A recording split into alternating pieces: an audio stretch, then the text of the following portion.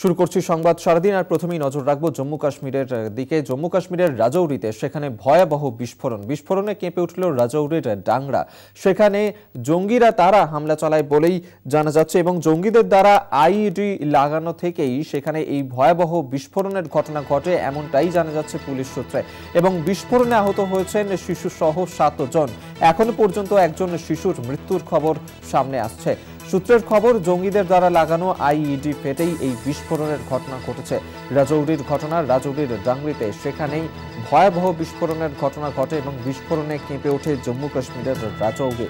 সেখানেই জঙ্গিরা হামলা চালায় এবং জঙ্গিদের দ্বারা লাগানো আইইডি ফেটেই এই বিস্ফোরণের ঘটনা ঘটেছে বলেই পুলিশ সূত্রে এখনও পর্যন্ত জানা যাচ্ছে এবং এই ঘটনায় মৃত্যু হয়েছে একজন শিশুর। আহত হয়েছেন শিশু সহ এখনও পর্যন্ত সাতজন।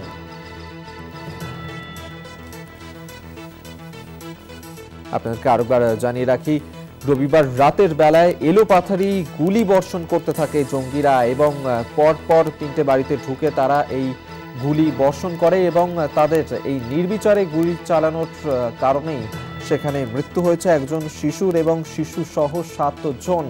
আহতও হয়েছেন, তাদেরকে হাসপাতালে নিয়ে যাওয়া হয়েছে, চিকিৎসাধীন রয়েছেন তারা।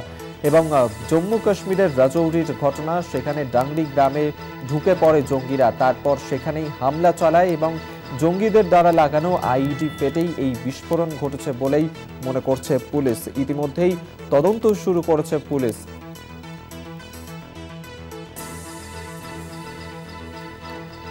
আপনাদের আরেকবার জানিয়ে রাখি, জম্মু কাশ্মীরের রাজৌরিতে, রাজৌরির ডাংরিতে, সেখানে এই ভয়াবহ বিস্ফোরণের ঘটনা ঘটে।